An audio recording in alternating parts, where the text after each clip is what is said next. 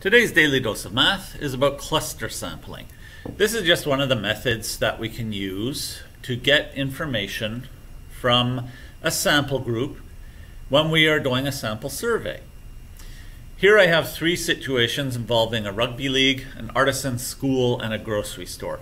And for each we are being asked to give an example of cluster sampling.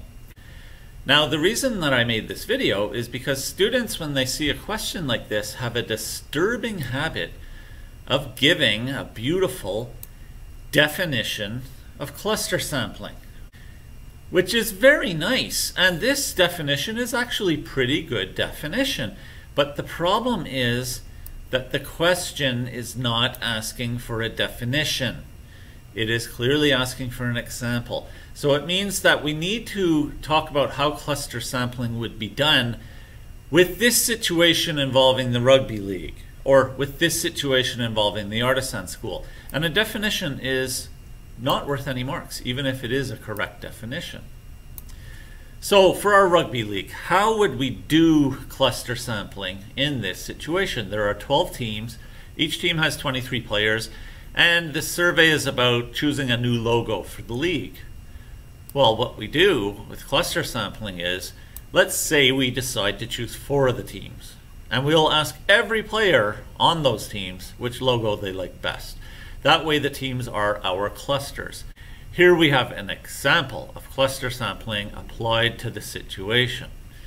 The Artisan School has 22 classes with 18 students in each class and they are doing a survey to choose a project for next year.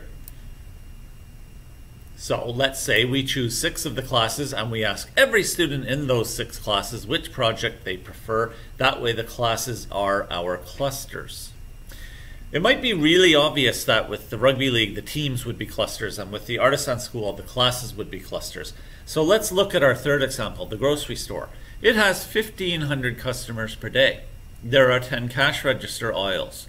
And we want to know what the customers think of our vegetable quality. Well, these customers aren't divided into groups the way teams in a league are or classes in a school, but we can still find a way to make clusters out of this.